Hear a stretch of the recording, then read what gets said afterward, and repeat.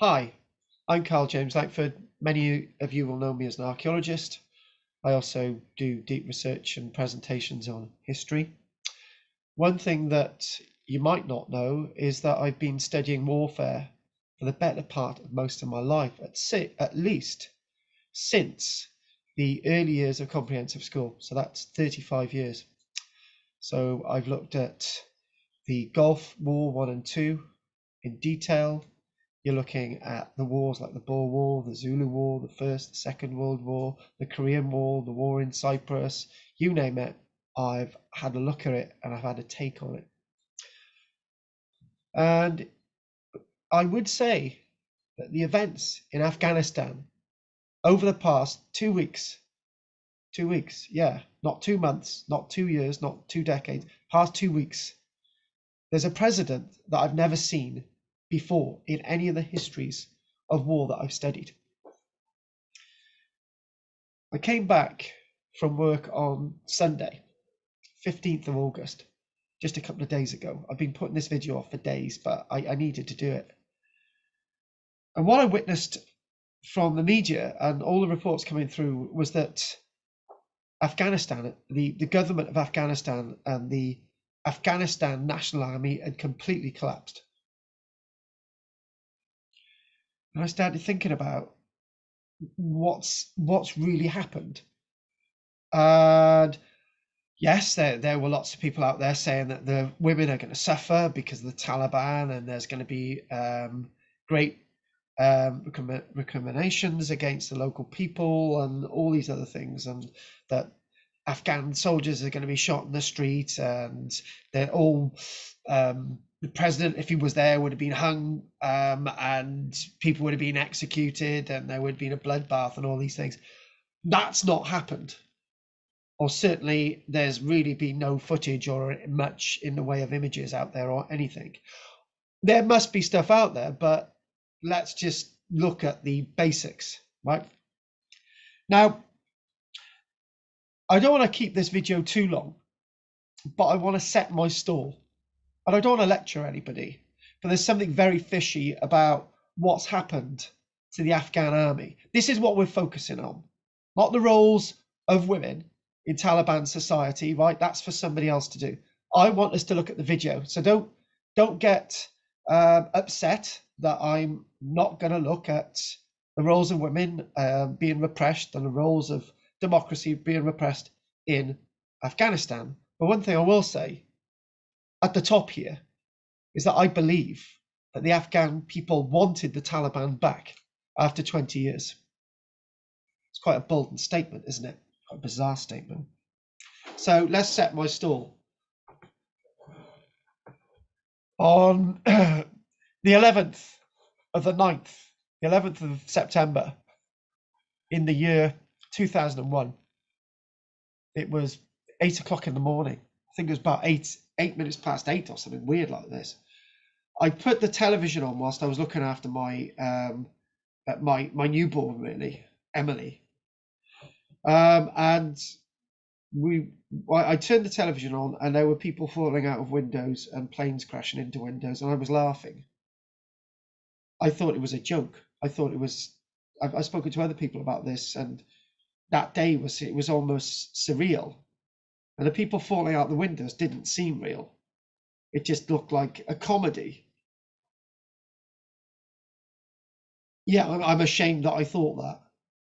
I put on another television station because I thought there's a bit too much to watch with my with my little girl, and it was on the other channel. I thought that's a bit strange. It's the same film. Oh, it's a and I put it, and it, was all over the media, and I still thought it was a joke, bizarre, but then I realised it was real, and the shame that I felt for those people dying in front of me. So then, the, then we've got the other war in 2000, 2003, and then I, I one thing I saw about the war in 2003, the, the Second Gulf War, was that over the space of six weeks, the Iraqi army slowly slowly disintegrated, but they fought back. Thousands of Iraqi soldiers died, air, aircraftmen and so on, but they resisted. they actually fought for Saddam Hussein. There were US casualties, British casualties, people died.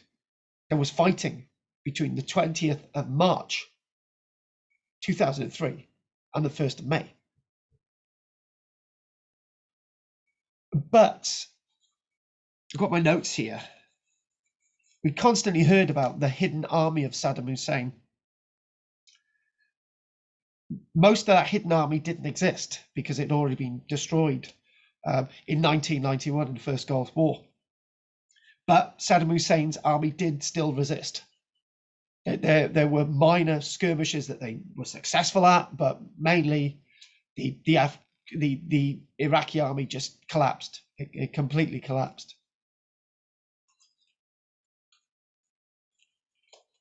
So that starts to make me wonder, even with like this hidden army of Saddam Hussein in Iraq that never never never existed, they were still men who were fighting.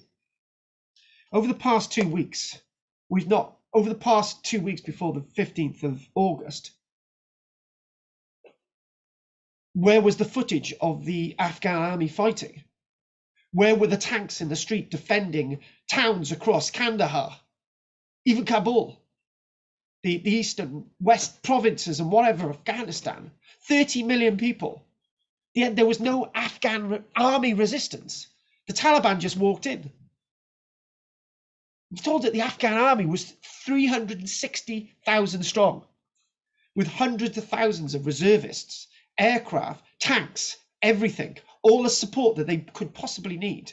And the excuse was that they didn't fight because they weren't paid absolute nonsense. So I'm going to set my stall. I don't believe that the Afghan army ever existed in the first place. And if it did, it wasn't 360,000 strong. It was more like 30,000 strong. Now, were these guys, these guys behind me in, in this frame, they're Afghan National Army soldiers. But these guys, these these guys are photographed two months before and this is this is basically these these are some of the very few Afghan soldiers that did exist. I'm probably saying the Afghan army was about 30,000 strong against 70,000 Taliban. Fanatics. Uh, the, the Afghan army had no chance because it really didn't exist. It didn't exist in strength. And it didn't and, and then when the Taliban rolled in, the space of the past two weeks, there was no resistance. So what I'm going to do is we're going to look at a few images. So let's let's put these images up here. So we're, we're looking we're looking at Commando Special Forces. Uh, they've they've got all the equipment. Uh, they're, they're it's it's provided by NATO billions of pounds of money went into training some Afghan soldiers. And I went on to the Wikipedia page today, which is not where I get my information, by the way. And all the information about 360,000 on the National Afghan Army page had all been removed. And they used the words ghost army. And that's what I believe it was. It was a real ghost army an army that only marched on paper. Many people, um, you could say that local government officials said, look, we've got 10,000 men, each of them earning um, $300 a week. Um, you can work out how much money the local officials are making. They're pocketing the money because the army didn't exist. There were special forces. We know that they fought but there's very little footage of any soldiers fighting in the Afghan army for the past two weeks. You would think, wouldn't you? Definitely, that the great heroes of the Afghan army would be would be photographed and filmed charging into the front, fighting the Taliban. Exactly the same footage that we saw in 2011 in Libya, that we've continually seen in Syria today, and also Iraq in 2003. people, the film, the film companies that are paid for by the state in all those countries, film the National Army fighting against the enemy, even if they were making it up. Even as we saw the footage of of of of, of Saddam Hussein um, in um, in in that wonderful month month of April in Baghdad, where where he's where he's got his men, he's saying, "Look, we're going to win this war." And, then- and then in the background, you've got a, a, a, German tank, very good, an American tank. Um, but but they're still saying, "Look, we're fighting, we're resisting," right? And the people still believe it. There, there was no footage. I I I I I, I have not seen footage in the media of this great army of Afghanistan fighting anyone. The only footage that we do have is in June and July. This is the 15th of August. Today is the 20th of August. Very little and nothing out there. There were special forces, there were special commando forces. And what we do know, there was some controversy on the um, 14th of July that 22, 22, not 2022, not 220, none of that. 22 special commandos were actually captured on the 14th of July by the Taliban, right? A lot of fuss was made whether they survived, whether they were executed by the Taliban, blah, blah, blah. The Taliban said that they would. The fact of the matter is, these special forces, these 22 guys that you could, you, you saw the footage, right? They, they, um, they, they had the, the, the headgear, they had the night gear, they, they had all, but they ran out of ammunition. They couldn't fight anymore, right? So they surrendered. There was no support. There was no nobody supporting them. There was no aircraft. There was nobody in there. There, there was there was nothing supporting these commandos, right? So you can call them what you want, but a month ago, just over a month ago, these 22 commandos with about eight eight of their colleagues, right, who were dead due to the fighting, right, those were the bodies that were actually shown by the Taliban on footage that were killed. These 22 members of special forces, forces, special commandos that did survive or did whatever, there were 22 of them, right? That amounts to probably a percentage of the Afghan army that they had. Not not there, there was nothing there. No, there was nobody helping these guys. They surrendered. I say that the worst thing to do in war is to surrender, but they surrendered, and the Taliban offered them terms. Whatever happened to them, you can you can write in the box below that they were murdered or whatever, right? But I am okay. It's a tragedy, but the fact of the matter is, there's only 22 of these guys, right? This mass slaughter in the street that we're told about. Where are all the bodies? Where's the evidence? I think we've all been lied to. We've been lied to. That was a month ago. So, three uh, three weeks later, on the sixth of August, right? This is all we've got. This is all we've got. We've got Kabul and a, and a few eastern provinces, right? And that's it. That's all that's left under government control. And this has happened within a week. What it is happening within a week. That's it. That's it. Now, don't tell me that the Afghan army was no match for the Taliban. Of course they were. They were equipped like a NATO army, right? But they couldn't stand up against the Taliban. They couldn't stand up against the Taliban because there's hardly any of them. And you can imagine that there's there's ten there, there's okay there's there's ten Taliban out there and there's you, and you're thinking, Christ, I've got to try and man this position against ten fanatical Taliban, right? You're going to run out. You're going to have no support. The best thing to do would be to surrender. Again, I don't agree with surrendering, but surrender. That's what they did. So I want to ask you all some questions, right? Up until the 15th of August, right? Where's the evidence of all the Afghan National Army um, equipment? Where, where, where, where is it all stockpiled? If the Taliban had captured all the vehicles, all the aircraft of the of, of the military forces of the Afghans, right? The Afghan National Army, not the Taliban, surely they would show it off. We've got a few Humvees and we've got a few sort of armored personnel carried, carriers and all the rest of it. But the fact of the matter is, That's all there is. We've got a few Ford cars wandering wandering down the lane with sort of you know stickers on them uh, with um, um, Army of Afghanistan on it. That's all we got. That's all the stuff. With, there's one or two artillery pieces that I've seen, and that's it. That's all we've got. In other words, all this heavy equipment, all this aircraft that the that the army of Afghanistan supposedly have didn't exist. It never existed. Nobody is questioning the nobody is questioning this issue. It's astounding that that nobody in the media is actually asking these questions, right? The only reference I've got to a ghost army is on that is on the, the Wikipedia page. That's what we've got, right? So let's just let's just get off this a minute. We've got another image coming out. This is from the 21st of June, right? Again, it's two months ago, right? 21st of June, right? Not the 14th of July, the special forces, the 21st of June, right? The guys on the, the, guys in a line there are the Afghan National Army, and the uh, the armored personnel carriers and the other vehicles in the background, right?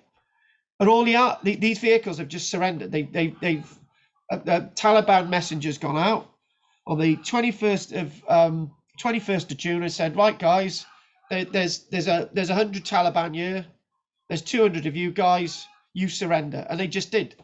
They, I, I watched the video footage, and it's and there's these the the, the, the, guys the guys in the camouflage gear ain't being battered to death. They don't even have a gun pointing at them, right? They've just surrendered willingly. But that's not a lot of men. That's not a lot of soldiers. That doesn't represent a thousand individuals. That represents a very small number. Those soldiers that knew that they had no support, there was hardly any backup, there was no planes, there was no nothing. Right? They surrendered on the 21st of June. Can you see that guy? Um, can you see that guy walking towards us there? He's he's got um, he's he's got he, he's he's he's got his uh, ration pack. He's he's got his ammunition pouches and all the rest of it. Right? That guy is an Afghan soldier.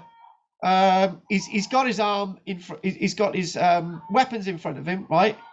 Um, you've got a Taliban guy behind him, and he's just he's just wand- wandering in front to add his weapon to the stockpile.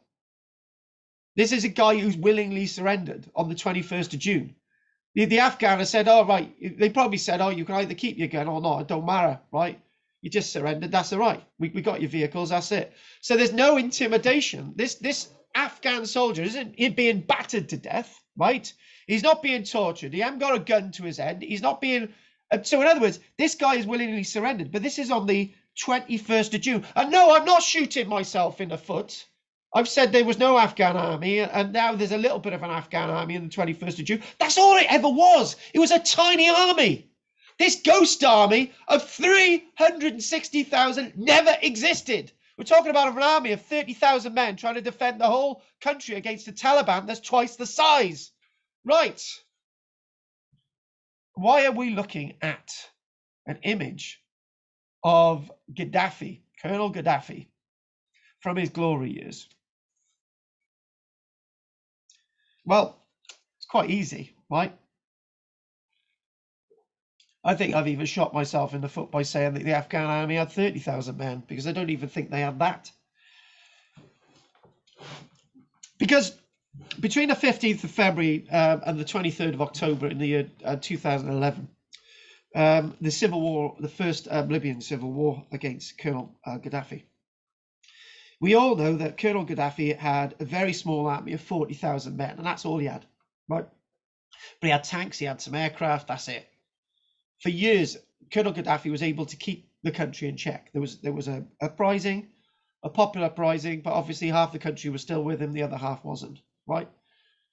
But when when when we think about it, right, this war lasted for for the 15th of February to 23rd of October, right? So at least eight months of, of, of conflict where 40,000 men managed to defend um, um, Colonel Gaddafi's um, smaller and smaller areas of his control. But then again, this lasted for a long time. He had popular support still, right? And things things went bad on the 23rd of October, where the civil war ended. The point is, is that Colonel Gaddafi had 40,000 men in arms. We're told that probably up to about 17 to 20,000 went to the rebels. So he had an army of 20,000 men that managed to keep the, the land that he controlled in Libya in check for um, at least eight months. Now, when you think about it, um, the Taliban, we're told, was invading Afghanistan. They weren't popular. Um, people didn't want them. Um, and they were facing an army um, with popular support. I think that's nonsense. The army, the National Army of Afghanistan, did not have popular support. The people were not on the side of the Afghan National Army. So, proof that it fell, whatever there was, so quickly. So, what I'm going to do, I'm going to readjust my figures. Maybe the army of Afghanistan wasn't 40, 30,000, definitely wasn't 360,000. Let's say the National Army of Afghanistan, somebody's somebody's really sort of um, you know taking the money for the for, for the money being paid into the soldiers. Now let's look at the national army of afghanistan to try and patrol th- um, 31 million people. A vast landscape was probably about 20000 and naturally there's no way could they hold up against the taliban. So that's that's that's my next point right? So so there's no hidden army right? Never existed. Um, it's it's basically a ghost army. That's all there is. A ghost army supporting a little army that existed, right? So Taliban, there he is. There's a Taliban in the street. Um, keep an eye on the street. One thing you can see in the background, right, is that there's traffic flowing, and there's a market stand on the right. There's a guy with um, a Kalashnikov type rifle, right? And the fact of the matter is, everything's fine. There's no death, there's no murder, there's no rape, there's no nothing going on. The streets of Afghanistan are now being patrolled by the Taliban because the real army of Afghanistan wasn't able to patrol the streets because it never existed.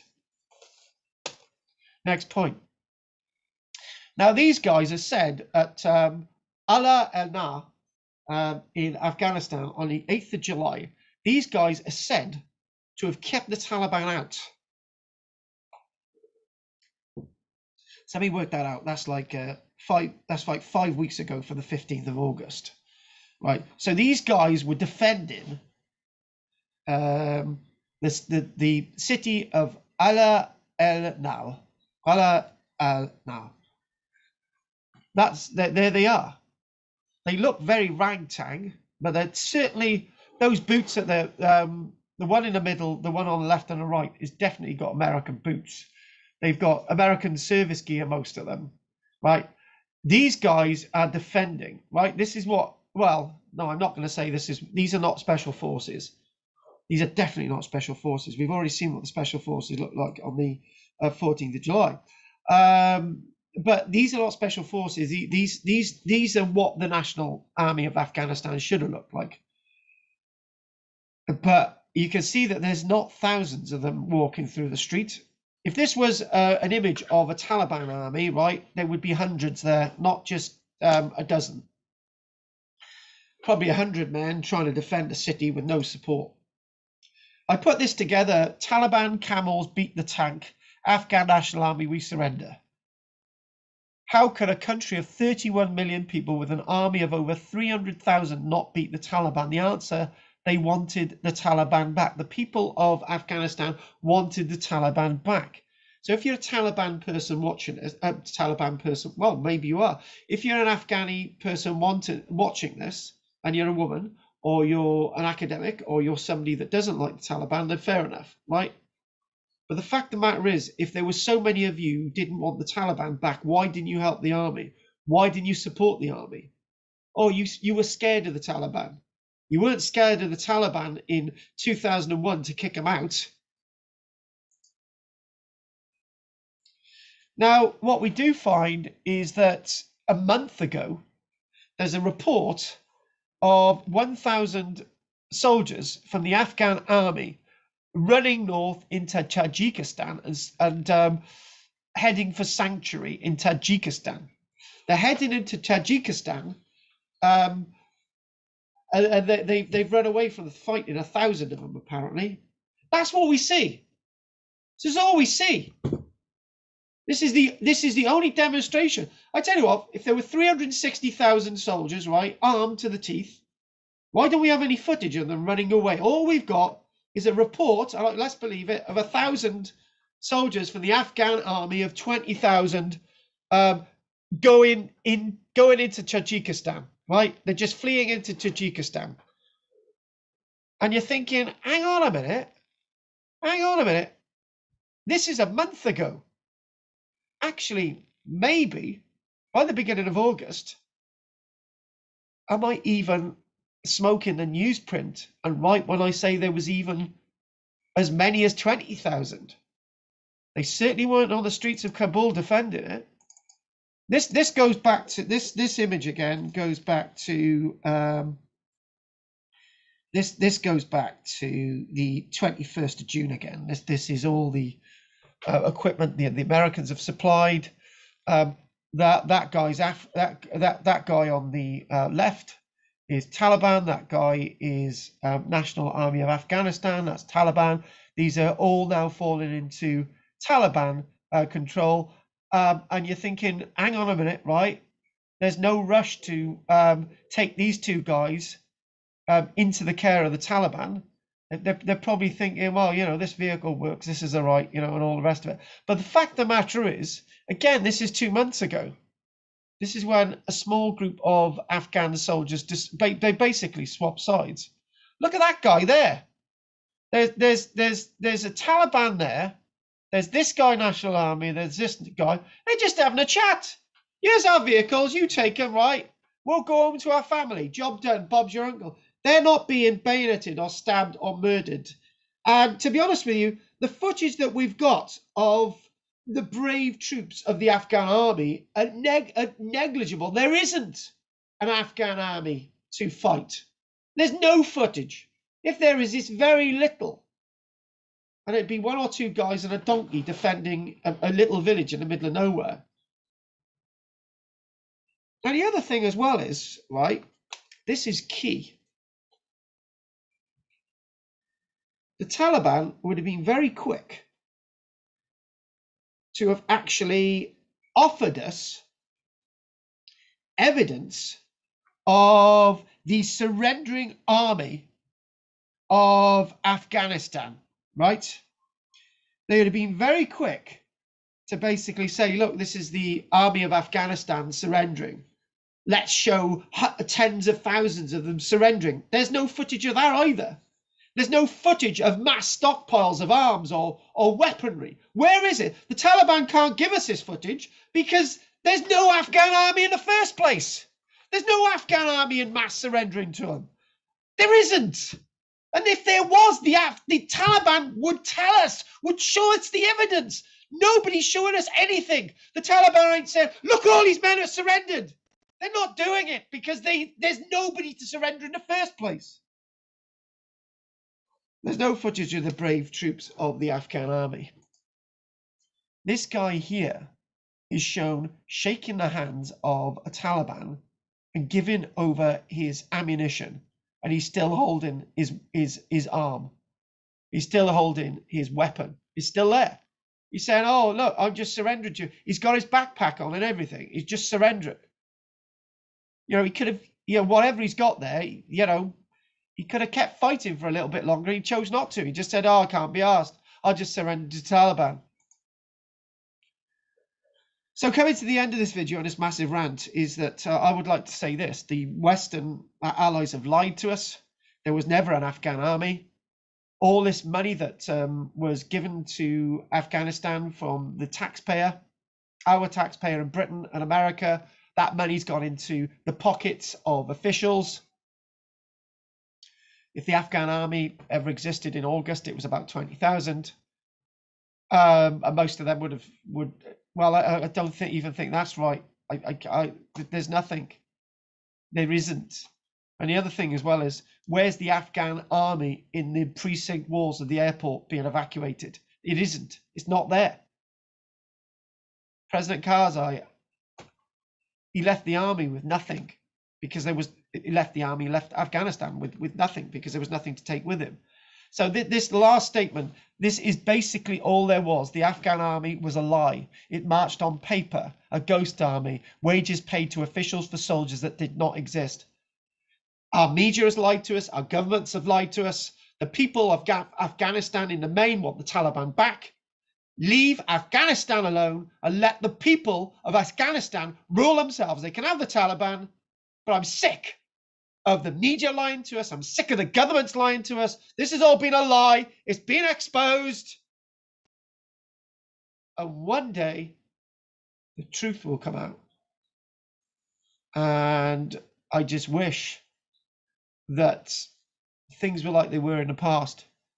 At least, at least things were more transparent than not today. This is Karl James Langford. Don't forget to like, subscribe, join my channel. Let's have your opinion. Let's have your comments. I don't want any death threats, but thank you very, very much. And I'm going to stop the sharing. And um, I wonder where this guy, this guy is now. This officer in the middle. Where is he now?